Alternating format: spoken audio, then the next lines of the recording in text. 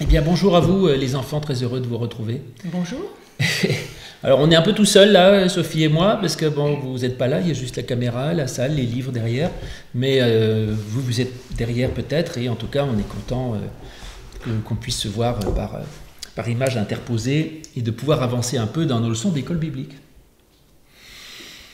Bon, alors, où est-ce qu'on en était dans l'école biblique? Vous vous souvenez? Alors, on en était à l'évangile de Jean. L'évangile de Jean. Alors, l'évangile, vous vous souvenez qu'il y a quatre évangiles qui représentent quatre fois la vie de Jésus Matthieu, Marc, Luc et Jean. Et Jean, comment est-il par rapport aux autres Et les quatre évangiles, il faut rappeler, hein, ça se trouve dans le Nouveau Testament. Ah oui, c'est ça. Donc, le Nouveau Testament dans votre Bible, vous ouvrez, et c'est vraiment les trois quarts de la fin, vous voyez, ça, c'est, tout ça, c'est l'Ancien Testament, ça, c'est le Nouveau. Donc, c'est vraiment à la fin. Vous avez Matthieu, Marc, Luc et Jean.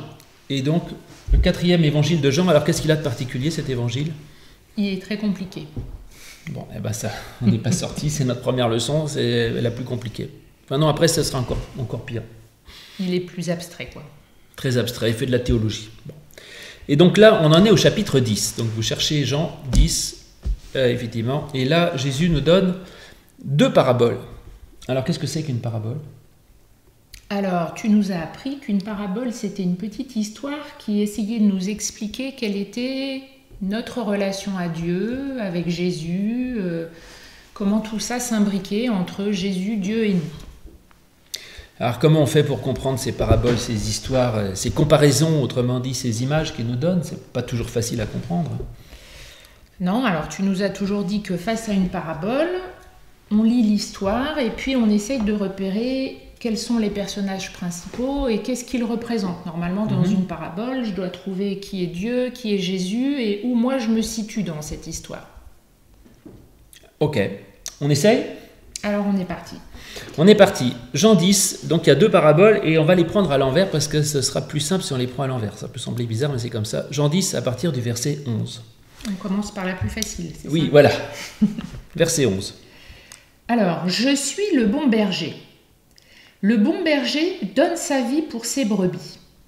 Mais le mercenaire, qui n'est pas le berger et qui n'appartiennent pas, à qui n'appartiennent pas les brebis, voit venir le loup, abandonne les brebis et prend la fuite. Oui, je, je commande juste pour vous dire, le mer, ce qu'il appelle le mercenaire, c'est quelqu'un qui est payé. Un mercenaire, c'est un soldat qui est payé pour faire son boulot, mais il s'en fiche en fait. Il le fait que pour l'argent, quoi. C'est ça l'idée. Mais on verra tout à l'heure. Continue. Et le loup les ravit et les disperse. Le mercenaire s'enfuit parce qu'il est mercenaire et qu'il ne se met point en peine pour ses brebis. Je suis le berger. Je connais mes brebis et elles me connaissent, comme le Père me connaît et comme je connais le Père. Et je donne ma vie pour les brebis. Bon, et on saute, le, on saute le 16 que je ne sais pas expliquer. On arrive au 17. Alors le 17, le Père m'aime parce que je donne ma vie afin de la reprendre. Personne ne me l'ôte, mais je la donne de moi-même. J'ai le pouvoir de la donner et j'ai le pouvoir de la reprendre. Tel est l'ordre que j'ai reçu de mon Père. Voilà la parabole dite du bon berger. Donc comment on s'en sort alors pour, euh, Ah bah, dans trouver du cette parabole, du coup, on a quoi? On a un mercenaire, on a un berger, on a des brebis. Hmm. Alors, qui c'est facile à trouver là parce que on dit tout de suite je suis le bon berger. Puis tu nous as dit que c'était Jésus qui parlait, donc ça veut dire que Jésus représente le berger. Bon, Donc Jésus, il est quoi un. pour nous Eh ben, Il est un berger. Alors que représente le berger? Euh, alors, et le berger, bah, ça dépend pour qui. Nous, on est où dedans? Bah moi, je pense que je suis, je fais partie du troupeau des brebis. Ah, Donc c'est le berger qui me mène. donc Jésus est le berger et nous, on est, est comme le berger et nous, on est comme les brebis, c'est ça. Alors, effectivement, c'est intéressant comme image, c'est-à-dire que Jésus se présente comme, comme le berger. Et en fait, il ne faut pas oublier non plus que Jésus, dans, dans le Nouveau Testament, c'est un peu le représentant de Dieu. Enfin, Jésus n'est pas Dieu, hein, mais il représente un peu Dieu. Donc, ça veut dire qu'il nous donne l'image de ce qu'il est par rapport à nous, et c'est aussi l'image de Dieu par rapport à nous. Et de dire que Dieu est par rapport à nous comme un berger, euh, ça dit quand même beaucoup de choses, non? Bah oui, un berger, euh, un berger, bah, il accompagne son, troupeau. euh, il est toujours avec son troupeau. Il le mène sur des chemins sûrs, en sécurité. Il veut le mieux pour ses brebis, donc il va choisir les pâturages les meilleurs pour qu'ils aient de la bonne nourriture. Hmm.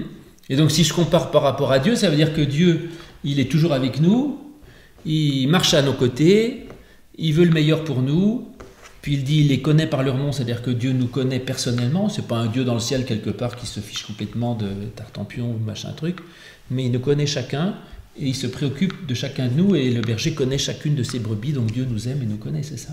Ben, je pense, oui. Alors en quoi c'est révolutionnaire de dire que Dieu est berger? Parce qu'il pourrait y avoir d'autres images à la place. Bah là, par exemple, on dit euh, je ne suis pas comme un mercenaire qui travaillerait pour, euh, pour un patron, pour de l'argent et qui prend pas soin vraiment des brebis, mais euh, qui le fait juste pour l'argent et, et qui, dès qu'il y a un danger, prend la fuite. Ah oui, c'est-à-dire que Dieu, en fait, il, oui, Dieu ou le Christ, il ne le fait pas pour son intérêt, il le fait vraiment pour nous, quoi, parce qu'il nous aime bien. Et puis, parfois dans l'Antiquité, on avait d'autres images de Dieu. Même aujourd'hui, il y a des gens qui ont l'image, qui ont, peur de Dieu à la limite, parce qu'ils ont une autre image de Dieu que celle d'un. Ah oui, c'est vrai.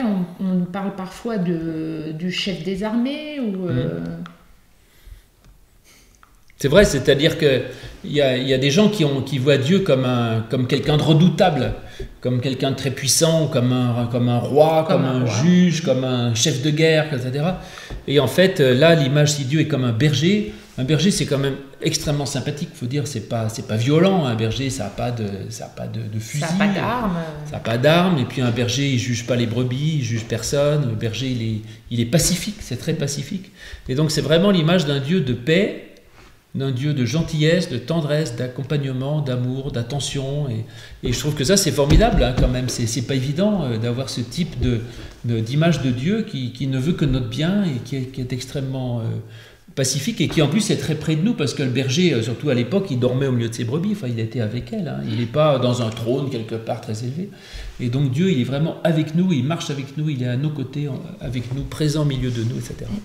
Dans les bons moments comme dans les moments dangereux. C'est ça. Bon, cela dit, le, berger, parfois, si une brebis s'égare, il, un peu, il montre quand même le bon chemin. Je pense que Dieu, il nous aime, mais aussi il nous, il nous amène sur le bon chemin bah, pour aller dans les meilleurs endroits. C'est ça? Mmh. Bon, et si nous, on est les brebis, ça veut dire qu'on est des moutons, quoi. Ça, ça me plaît pas trop, ça. Il y a un chien de berger aussi. Alors, le chien de berger, c'est le, le pasteur. c'est moi chien de berger, il court un peu autour du troupeau et puis il rameute les gens en disant Suivez Jésus-Christ, c'est lui votre berger. Donc moi, c'est ce que je fais je crie, je m'agite, je bouge et on fait des vidéos pour dire Vous avez un berger, c'est Jésus-Christ, suivez-le. Donc voilà, moi je suis un peu le chien de berger. Alors maintenant, est-ce que. Alors nous, tu as dit qu'on était les moutons. Bon, euh, le mouton, c'est, j'avoue que je n'ai pas très envie d'être un mouton. Mais en fait, il faut comprendre qu'à l'époque, le mouton, c'était pas comme aujourd'hui où il y avait des énormes troupeaux avec 3000 moutons et le berger s'en fichait complètement de savoir qui c'était quoi. Mais euh, les gens dans la famille, ils avaient deux brebis, quoi, et elles vivaient dans la maison, c'était leur, seule richesse, c'était toute leur, toute, leur, euh, leur, vie, et c'était même pour eux aussi comme des animaux de compagnie. Enfin, ils les aimaient, ils dormaient dans la même pièce. Et donc, euh, c'est pas les pas les moutons qui se suivent sans rien comprendre, c'était vraiment des, des, gens très proches et qui qui était individualisé. Il faut remettre dans son contexte. Ouais. Donc voilà, sur le berger, ça te va? C'est parfait. Alors, une autre parabole plus compliquée. On monte en grade. La deuxième dans le même chapitre, au chapitre 10 toujours, au verset 7. On a une autre comparaison. Donc maintenant que vous savez comment faire, eh ben, vous allez voir, c'est plus, plus difficile. Jésus leur dit encore, En vérité, en vérité, je vous le dis, je suis la porte des brebis. Tous ceux qui sont venus avant moi sont des voleurs et des brigands. Mais les brebis ne les ont point écoutés. Je suis la porte. Si quelqu'un entre par moi, il sera sauvé. Il entrera et il sortira, et il trouvera des pâturages. Le voleur vient que pour dérober, égorger et détruire. Moi je suis venu afin que les brebis aient la vie et qu'elles l'aient même avec abondance. Donc, deuxième parabole, ce coup-ci, c'est Jésus lui-même donc qui se compare à. À une porte. Une porte. Drôle d'idée, non?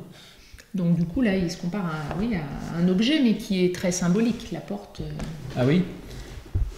Pourquoi Qu'est-ce que ça t'évoque? Euh, bah Surtout dans ces temps de confinement, euh, hmm. la porte, c'est l'ouverture vers l'extérieur, c'est découvrir d'autres mondes, les autres.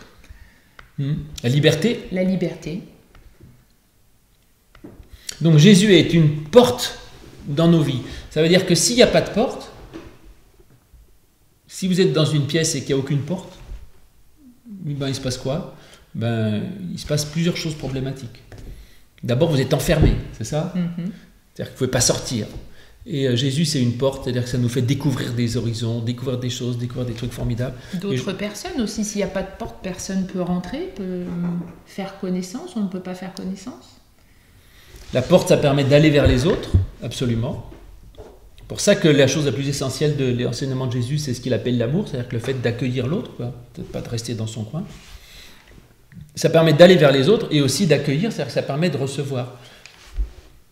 Donc moi j'aime bien les portes et, j'aime bien une église qui soit qui ait plus de portes que de murailles. C'est-à-dire qu'une église c'est pas une forteresse, une prison et on, est, on serait enfermé dans l'église ou dans la foi en Jésus-Christ, il faut croire ci, croire ça, mais au contraire ce qu'on essaye de leur faire c'est de, de dire qu'on ouvre vers, vers des tas de possibles. Vous avez le droit de, de, de, de croire à votre manière, de croire en Dieu à votre manière, de découvrir des choses que vous ignorez, d'aller vers les autres et puis d'accueillir aussi la pensée des autres, d'accueillir des pensées différentes.